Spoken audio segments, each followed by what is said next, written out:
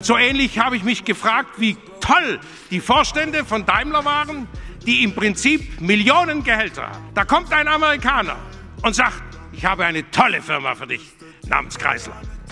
Wenn der mir das gesagt hätte, dann hätte ich ihm ganz simpel mit meinem Volksschuldenken gesagt, ganz simpel, ich hätte ihn mit großen Augen angeguckt und gesagt, ein toller Amerikaner. Sagen Sie mal, wenn Sie eine tolle Firma haben und mir die als so lukrativ anbieten, warum behalten Sie sie eigentlich nicht, wenn sie so toll ist?